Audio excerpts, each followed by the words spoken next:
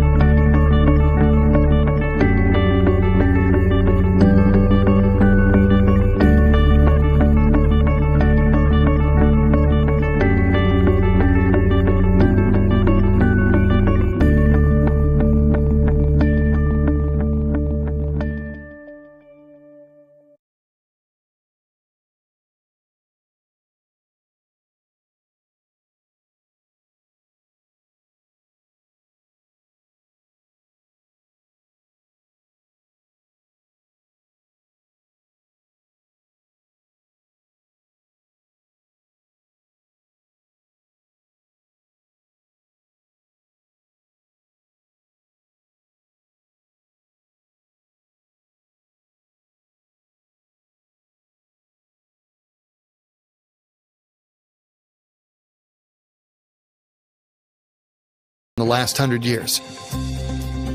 But one thing that doesn't change? Ensuring the quality and safe handling of food. No matter what changes are yet to come, we're proud to always be on our client's side, shaping the future of food today and tomorrow. AIB International, ever onward.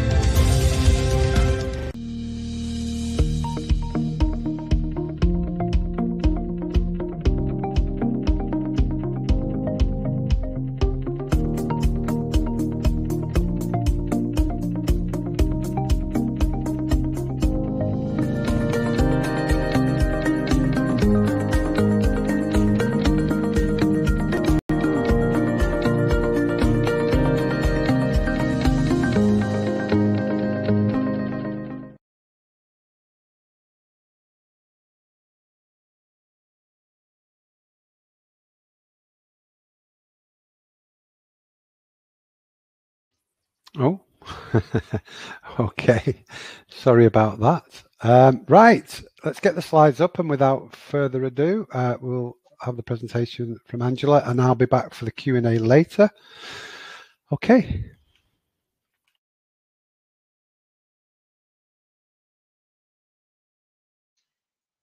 Okay, so I just want to say good morning, or good afternoon, or even good evening to everyone joining today's webinar um, from wherever you are around the world. It's great to see so many of you joining. Um, so my name is Angela O'Donovan. So my name is Angela O'Donovan, and I'm the head of the BRCGS, the head of standards at BRCGS. And today I'm just going to discuss the lessons learned from the pandemic on food safety and certification. Before I start, I just wanted to, again just to say thank you to Simon at IFSQN for giving me the opportunity to present today. So, my goodness, who can believe we've been in this pandemic for a year? It really has disrupted our lives so much. And one thing that hasn't changed, though, is that food safety is still a priority for manufacturing sites. And we all know that food safety is a priority for our customers, for our specifiers, for brand owners, and ultimately for the consumer. And it's especially important during a pandemic.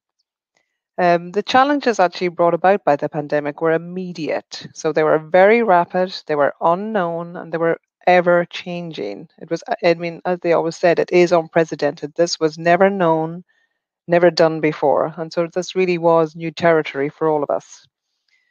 So the new challenges faced by food business operations included supply chain disruptions, amongst other things. But the but it was people that were most affected.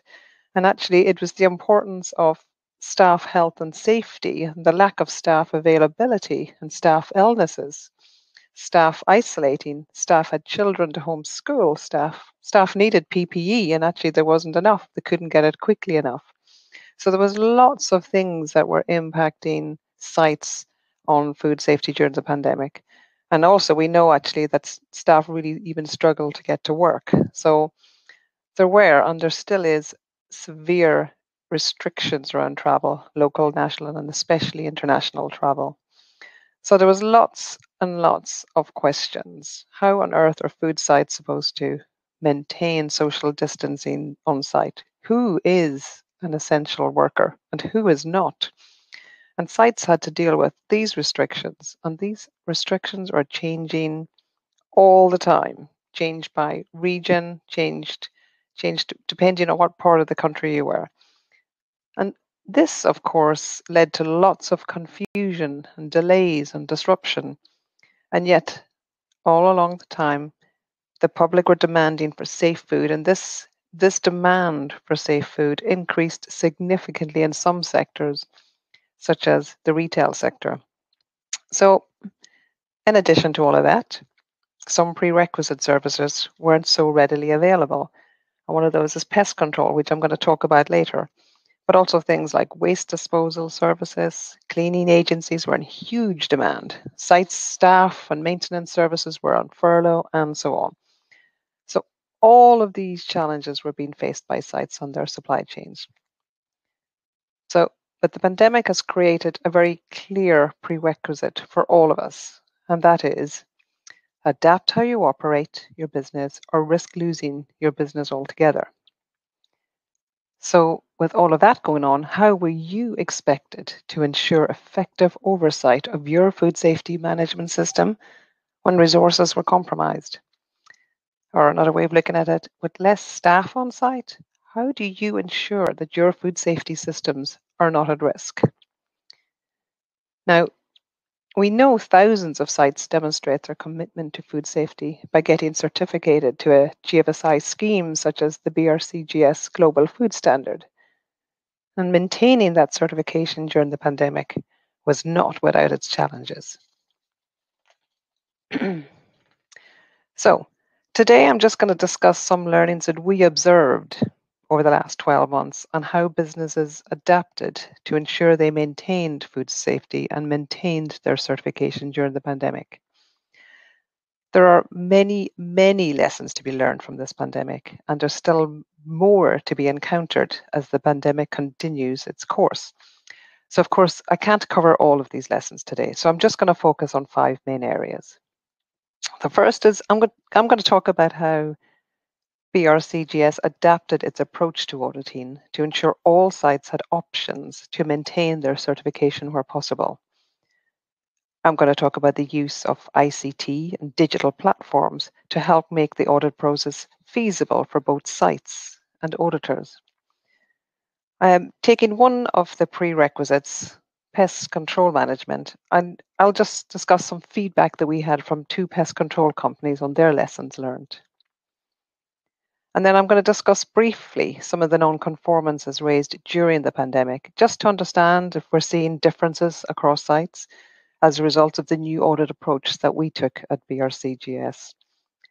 And finally, I just want to discuss the importance of having contingencies for training when face-to-face training isn't possible. So the audit options. So I just want to talk how BRCGS adapted its approach to auditing and to ensure sites had options uh, to maintain their certification. So I'm just going to talk, um, and then I'm going to talk through actually some of the feedback we received from auditors and CBs. But firstly, I just want to quickly remind you of the additional audit options offered by BRCGS. So the audit options. So BRCGS offered uh, or launched a suite of audit options and we took into account things like the GFSI position, and the requirements. We took into account brand and retailer feedback, the changing and evolving local restrictions, delivery partner and auditor availability, and the maturity and history of the site certification. so just starting on the left-hand side with announced audits. The full on-site announced audit continues to be available where it's possible for an auditor to conduct an audit on-site. But a lesson we actually learned quite early on in the pandemic was that unannounced audits were in fact an unnecessary burden on sites. And actually, they increased the challenge to certification bodies and auditors arranging the audits. So, therefore, BRCGS took the decision to temporarily suspend the unannounced audit program until at least the end of this year. But where this is the case, the CB will contact the site to arrange an announced or blended audit. And we'll keep this temporary suspension under review and hope to restart unannounced audits as soon as possible. But don't worry, we'll give you at least three months' notice before we reoffer this option. But if a site really needs an unannounced audit, this can be carried out by exception, for example. So if a customer requirement insists on it, or if perhaps it's part of a combined audit with another standard, then we will consider it. Uh, moving along the page to the blended audit. So the blended audit can occur where an on-site visit is possible, and the blended option is applicable to existing, existing sites only. And this, as you know, the audit takes place in two parts. We've got the, the remote online assessment of some or all of the documentation, followed by the shorter on-site audit. And this provides an opportunity for a rigorous audit, but a reduction in the auditor time spent on site. This has worked well actually, where travel restrictions allowed auditors to visit a region or a country for a few days at a time before they had to quarantine. So, for example, if an audit typically would take five days, but restrictions allowed an auditor to visit a country for a maximum of two days without having to quarantine, that's where the blended audit option worked well. And this will be a permanent option for announced audits in future. Now, the certification extension, this is where access is not possible and your audit is due. So, where it's not possible to carry out an on site audit of an existing certificated site, then the certificate may be extended for up to six months.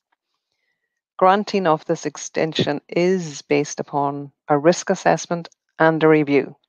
And that's between the site and the certification body. And it's based on the controls that are already placed in the site. And the extension is applicable for ex existing sites only. Now, the fully remote audit, we know this option is not GFSI benchmarked. It is available for sites where the certificate extension has expired and it's still not possible for an audit to take place due to COVID restrictions. Or it might be just where the site actually doesn't need a GFSI recognized certificate. And this, this remote audit includes a complete review of internal audits, documentation, and usually a video audit of the production and the storage facilities. Now, on top of that, we do actually offer a COVID 19 additional module. Um, so BRCGS have also published a separate assessment standard, which may be used at a time to provide assurances around the management of COVID 19 risks. It's done like a remote audit and focuses on the areas of the food safety system which are potentially at a greater risk as a result of the changes enforced to address COVID 19. So, just such as things like the supply chains.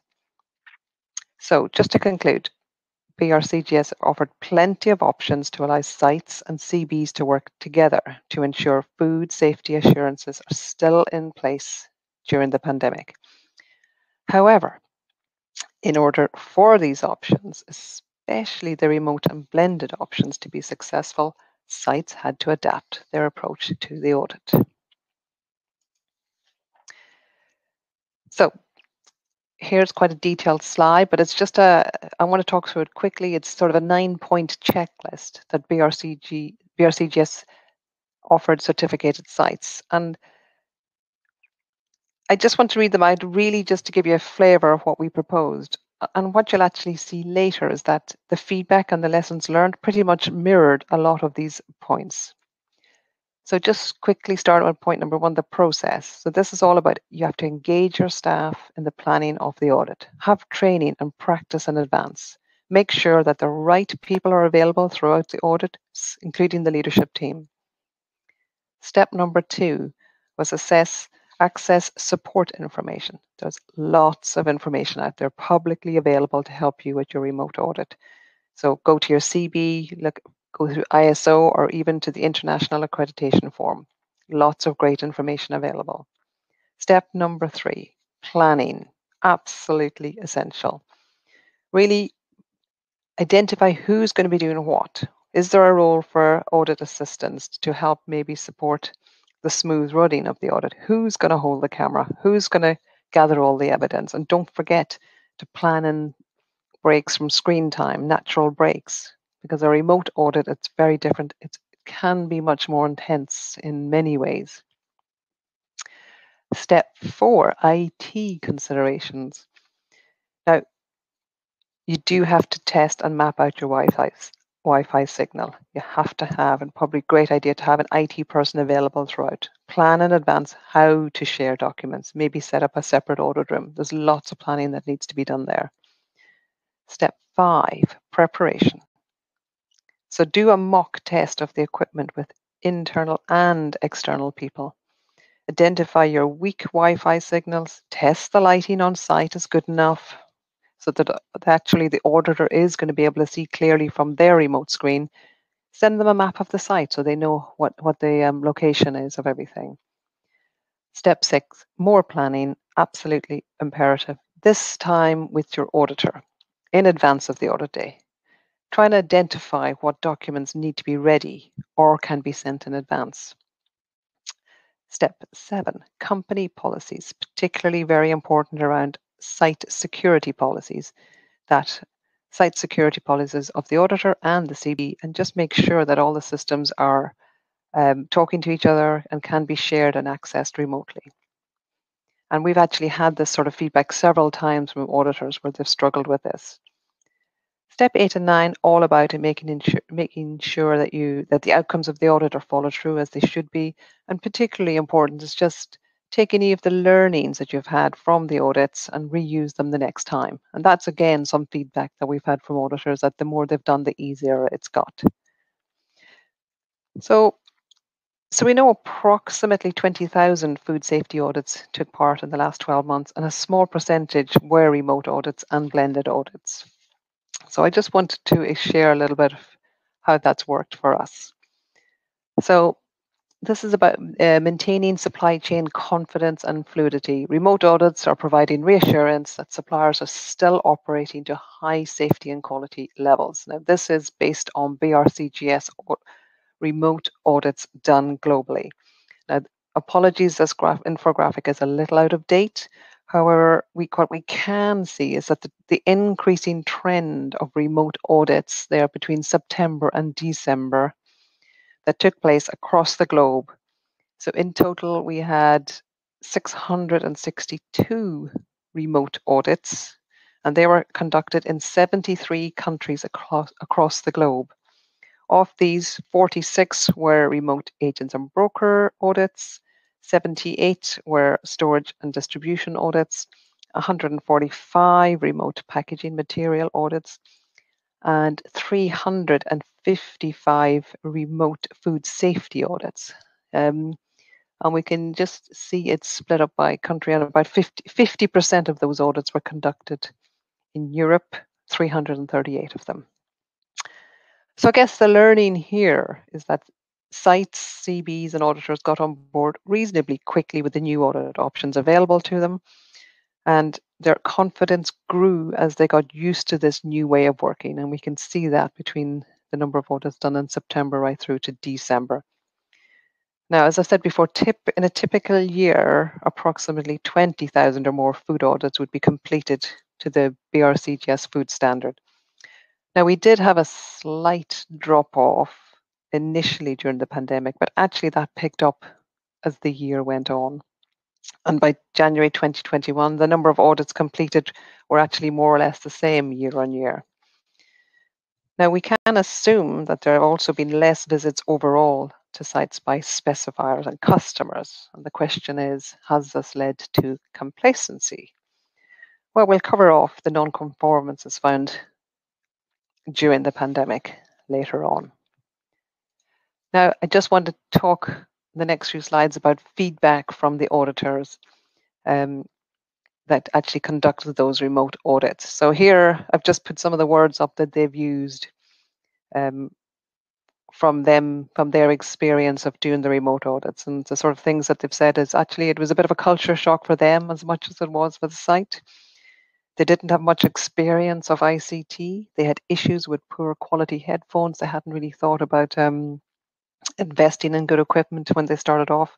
Lots of talk about poor Wi Fi, poor lighting on the site, and it was made more difficult for the auditor to be able to see the standard of of the construction and so on. It was it really kind of lots of lessons there.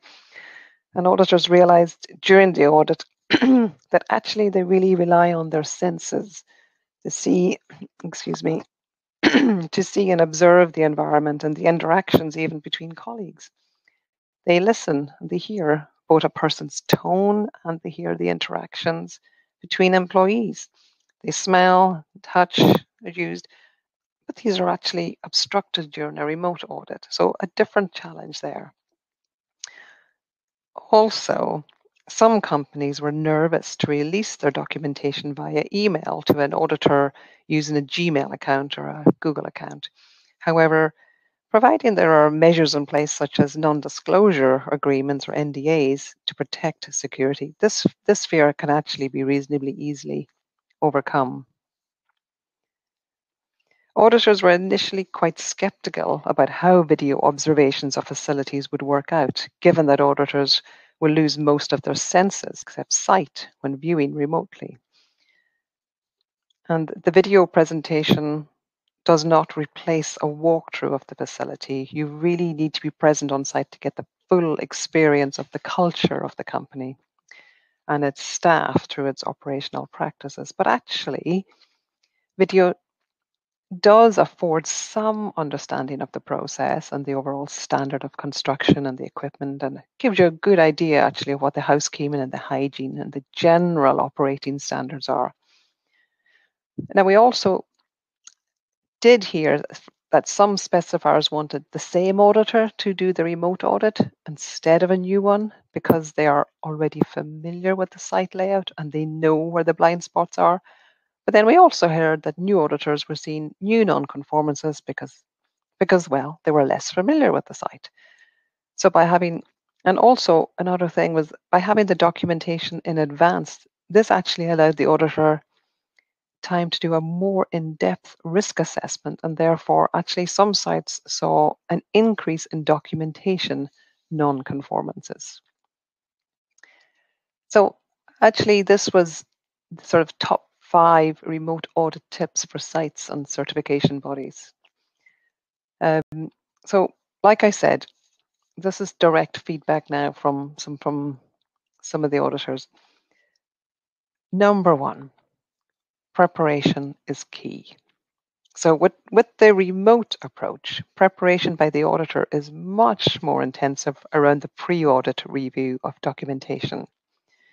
It's important actually for you to understand the pre-audit submissions, review the, the previous report and understand the process so you as an auditor can request the right information beforehand. And although there's lots of similarities between the on-site and the off-site audit, remote document review generally requires information specified by the auditor to be uploaded onto a document portal or somewhere. So scanning rather than photographing and uploading documents can take some time. So auditors need to make sure that the company is aware before the audit day of exactly what information will be required. Of course, during the audit itself, they're going to need lots more documentation, so that will happen. So it's important actually to have a scanner available if possible. Number two, test your site IT is compatible with the certification body systems. So as compat compatibility can be an issue, the, the company needs to make sure the IT team is on hand on the day. It's very important that we've got the right people available on the day to help with any technology troubleshooting. Um, now, we all know video streaming can be poor when internet bandwidth isn't at its best. And of course, these, these audits are taking place all over the world in very remote locations where Wi Fi and bandwidth is a problem. Um, so if you think it could be a problem, probably a good idea to either request a wired connection to a LAN or the Ethernet or some sort of router ahead of time so there aren't delays on the day. And you also just need to check in case the company firewall has any internal controls on screen sharing that need to be resolved in advance. Number three, test the technology in advance. So arranging a dry run in advance, if it's possible, is definitely recommended. The audit day time constraints on the auditor, they're tough enough already without the pressure of IT problems. And it also means the site and the auditor have a chance to get to know each other before the actual audit day. Um, another watch out is that many sites experience live streaming problems due to the Faraday cage effect that steel framed factories present. And just to get around this, maybe the company can upload a pre recorded video requested by the auditor or present them via a shared screen. Now, if live streaming is possible, just be aware of the noise in the plant and how this can impact the auditor. And of, and of course, the auditor doesn't have control over the camera where it's pointing. So, a solution for this can be a team approach to the filming maybe involving two or more people with a camera operator and a quality manager using separate devices. And another point is typically the team on the audit day all sit around a table during the audit, which works well. However, when you're doing it remotely, placing the laptop in the middle of a large table to allow everyone to join in doesn't work so well during a remote audit, particularly if the microphone isn't picking up the sound and or if the meeting rooms are a bit echoey. So moving auditees closer to the microphone may cause social distancing issues. So it's probably better to have everyone logged into into a maybe like an audit platform with headphones and individual microphones. Fourth point is get familiar with video conferencing. Throughout the pandemic, the use of video conferencing has really developed, and everyone is now much more familiar with these systems certification bodies may have their own platforms, whether it's Microsoft Teams or Google or Skype or something, that the auditors can be trained in and get familiar with. And then they don't have to actually deal with resolving any IT issues on the day. Um, and actually, they're also familiar with the system. They're not using some alien system on the day. Because actually, not knowing how an unfamiliar platform works, it's just extra hassle and extra stress for your auditor. And you don't want to have a stressed auditor. Um, fifth point, put a plan in place for poor Wi-Fi. Now we've talked about this already, but if live streaming, if you are going to be live streaming your factory visit, and if it's not possible due to Wi-Fi, try pre-recording a video, try pre-recording a video of the production facility. However, before you do this, you just also need to consider national privacy laws, and you must make sure that the video gives a good representation of the site. Now, it doesn't have to be cinema quality and try to avoid things like this nausea inducing rapid panning from one side of the factory to the other. Just think about what is it exactly that your auditor wants to see. Focus in on those details and perhaps following up the HACCP process flow diagram might be a good place to start the video. Try also maybe experimenting with different recording technology and, and avoiding the portrait style videos if possible. Um, a digital camera can sometimes be better than a phone camera as it's easier to transfer the videos onto a computer and so on. And actually, that brings me nicely on to my second lesson learned, which is all about the role of information communication technology.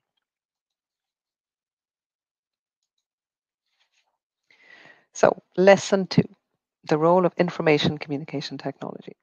So, well, we know technology has a vital role to play in our food supply chains. Businesses are increasingly turning to digital tools and platforms to support their challenges, using the power of data and automation to problem solve, maybe improve processes, and certainly to help decision making. And it increases productivity, it enhances transparency, and creates added value from all the way from operations right through to the customer experience. And the pandemic has certainly led to a dramatic increase in the use of some digital tools. Information communication technology, or ICT, has also been essential to the food industry. We know that remote audits could not have been possible without it, and it's been used to demonstrate food safety compliance to auditors and thereby, therefore, helped maintain certification for hundreds of sites across the globe. However, as we said, that hasn't been without its challenges. So, just to recap, we've talked about additional steps such as having confidentiality agreements or NDAs to be signed, and just to consider documents such as the IAF ID3 or uh, AF MD4 docs need to be understood and agreed with your CB. And if you're not sure about these, just have a, have a chat with your CB about it. And sites had to learn where their Wi Fi hotspots and black spots were in advance of the audit. And that's not something your typical technical manager knows anything about. And we've actually have heard of some extremely remote sites having just no Wi-Fi at all and making it impossible to, to conduct a live remote audit. Um, and we do know that just sites and auditors have used a huge variety of hardware and software, everything from smartphones, iPads, laptops, even CCTV. They've used GoPros, and then they've used WhatsApp, they've used Microsoft Teams, everything, anything and everything, some more effective than others. And I'll just probably talk about them a little bit later.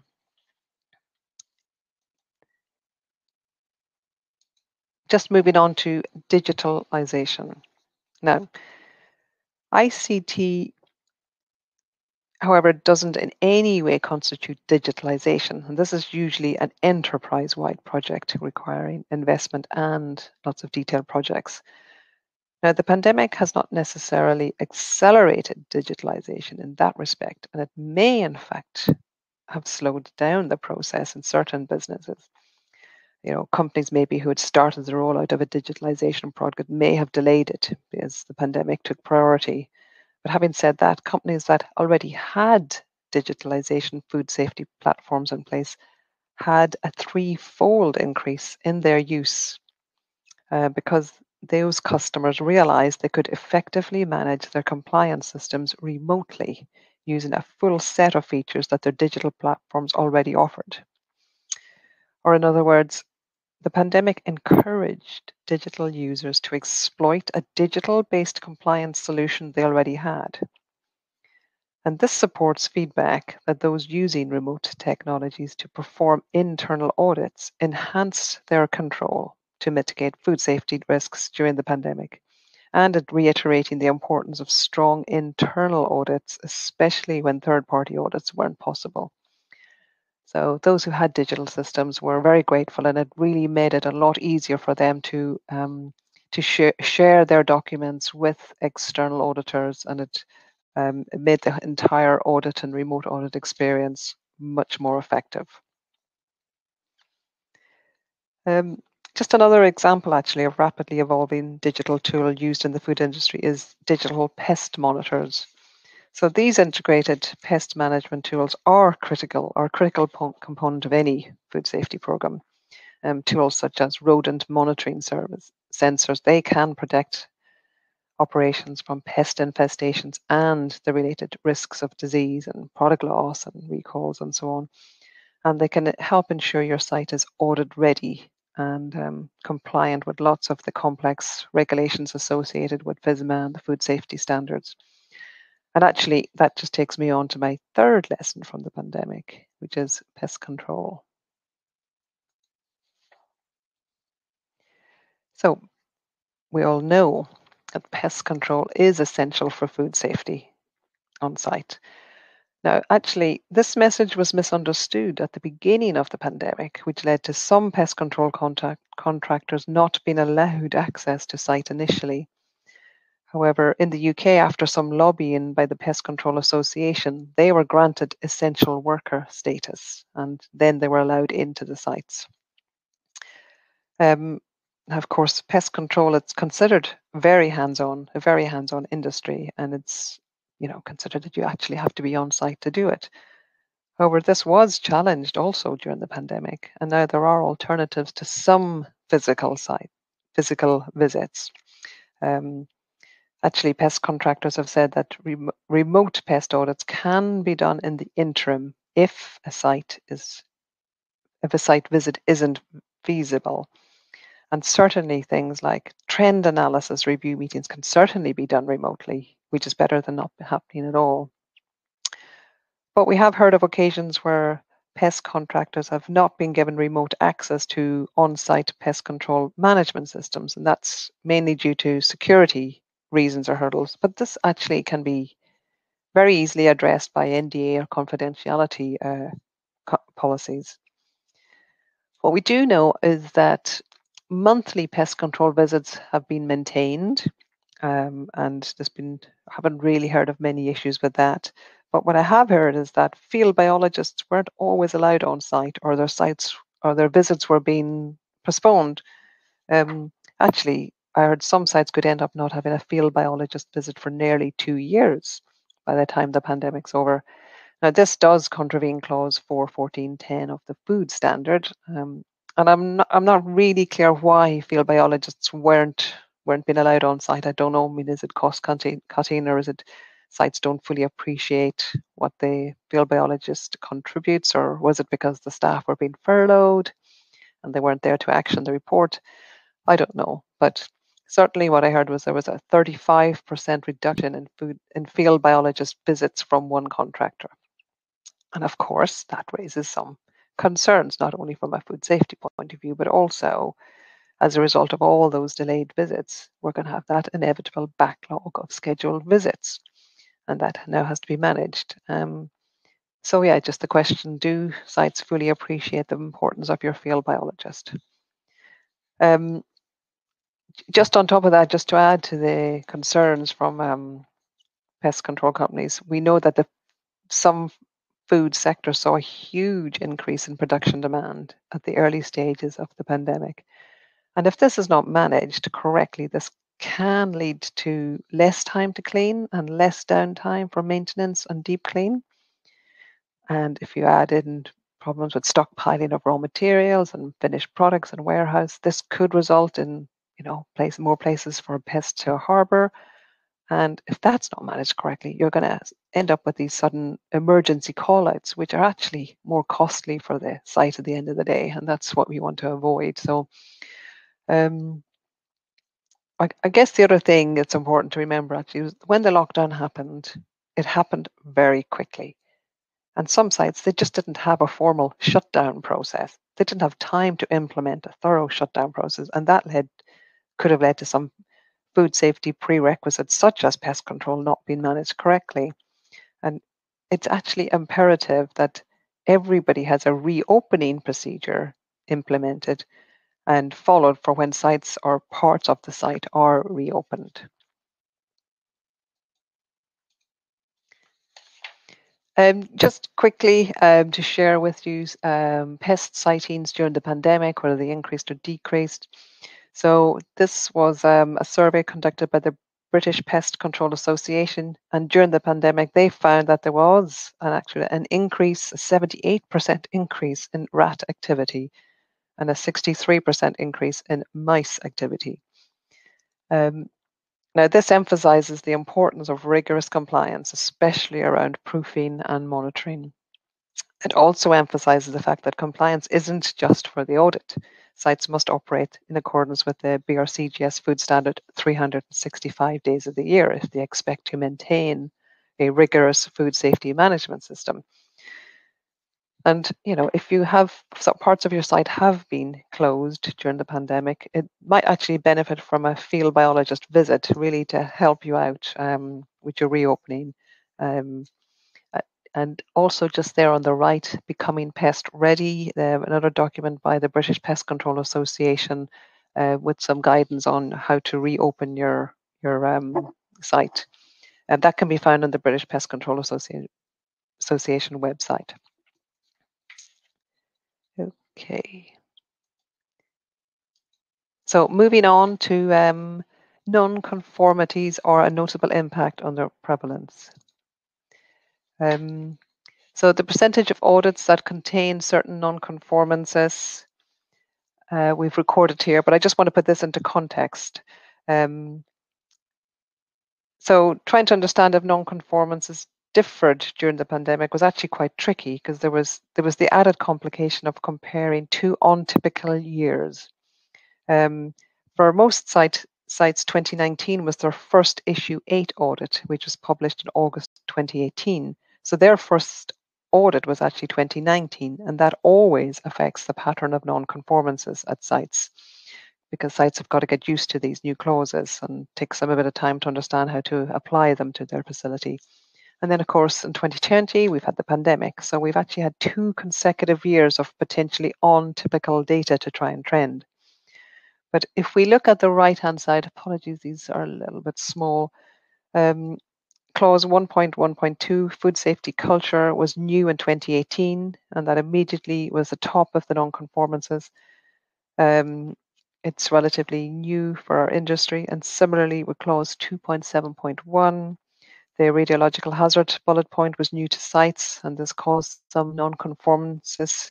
Um, but those moved, those um, the following year, if you look on the right-hand side, those actually non-conformances moved down to position three and five. So, um, but what we do see over the years is that the non-conformance have changed slightly, and the top non-conformances um, there's not a huge amount of change at the moment. Um, to be honest, we haven't we haven't done the statistics on all of the remote audits yet, but we because we don't really have a significant number of audits completed to make the statistics meaningful. But what we will do is we would certainly continue to monitor that as the pandemic progresses. Um, just really to a bit, bit more detail there for you on what those non-conformances were.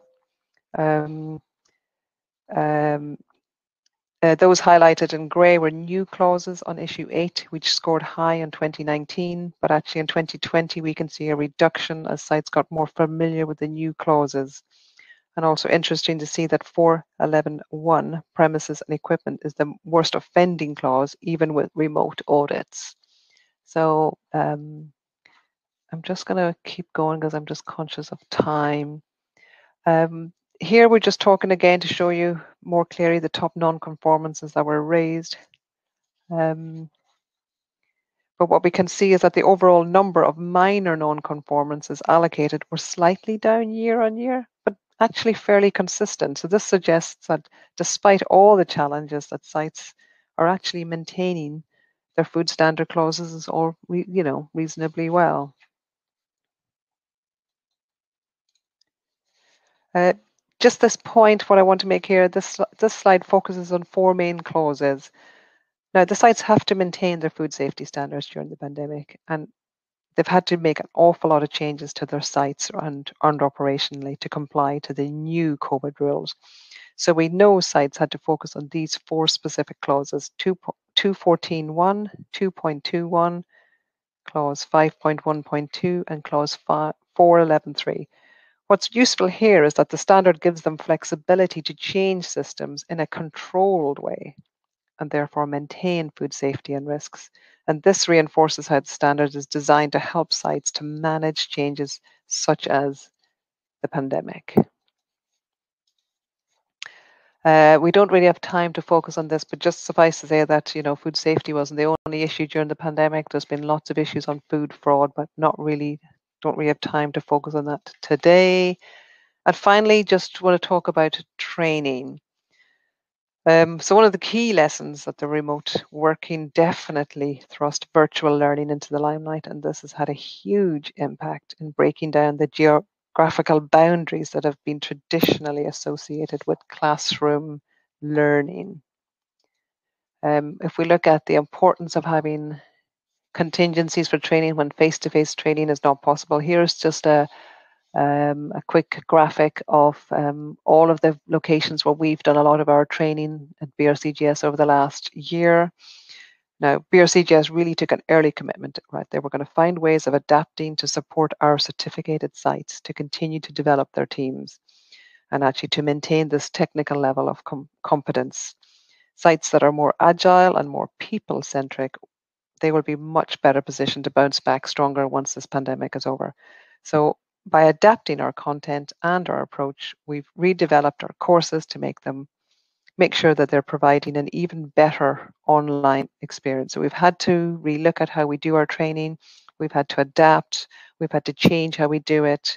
Um, we've reframed the content to make it more um, online friendly. We've adapted our changing methods, so actually learners learners are getting a, a much better um, experience out of the virtual classroom environment. Um, and um, like I said, we've redesigned our training and it's all now delivered through virtual platforms, totally critical. We've even looked at mobile micro learning, and that's where we're developing these mobile friendly learning options. We've made it as easy as possible for people to learn. Um, and those platforms allow learners to target specific skill areas that really meets their their requirements and their business and professional schedules. So we know virtual events. Um, we've we've at BRCGS we've switched from traditional learning conferences to virtual. They've been a huge success, and actually we're going to continue to support our global network with virtual, in-person, and hybrids events in 2021. Uh, just very quickly, we're going to talk about um, BRCGS Professional. This is more just to show you that even in the last year, we've had a huge number of people um, doing their training virtually with us. So we've had 2,900 new professionals enrolled in our scheme in 2020. We've had 104 professionals graduate from the BRCGS Professional um, Academy. Uh, we've had 13 new countries join the professional uh, scheme. And this scheme, it's available exclusively to those who work at B- BRCGS certificated sites. And it's been designed by our team. So, um, so it's great to see that uh, people have continued to use it during the pandemic. Uh, just finally, in case you need any more information, about the pandemic. All of this is available on our website. If you just have a look at www.brcgs.com, you'll find articles on business restart support, technical and compliance document, and lots and lots of guidance from government bodies and accreditation bodies. Um, and also, just for clarity, on our website, you will see our position statements all talking about our new audit protocol, procedures for blended audits, remote audit certifications, and clarifying unannounced audit. And just there on the right, you will just see um, our, our COVID 19 uh, document that's available in all languages to help you manage your um, food systems during the COVID 19. Okay, so very quickly, in case you've been asleep for the last half an hour. I'm just going to do a very quick summary. Lessons learned. Um, what we've said is that um, the key lesson we've learned from the pandemic is that we had to adapt our ways of working to ensure we continue to provide brand protection for our customers. The remote audits and the blended process audit, they're working really well. Just remember, plan well in advance. ICT allowed the audit function to continue, tested out well in advance. Digitalization definitely had a part to play in demonstrating compliance and food safety. Pest control, as with all prerequisites, remain a priority. Do not lose focus on this prerequisite. Non-conformances, we have yet to understand the full impact, uh, but no significant changes. And virtual training is definitely here to stay and it's increasing all the time. So all that remains is for me to say a very big thank you for all of you listening. I know that was very quick, um, but if you have any other questions, uh, please let me know. Okay, thanks very much, Angela. Uh, if you switch your webcam back on, take the slides off. Uh, thanks for that overview. Right, let's get to some questions um, and see how we go on. We've got 10 minutes left or so. So, Eggy, can you see that in the sidebar? Hi, for extended certification, how long is the active period of the certification? Can I do the certification more than once.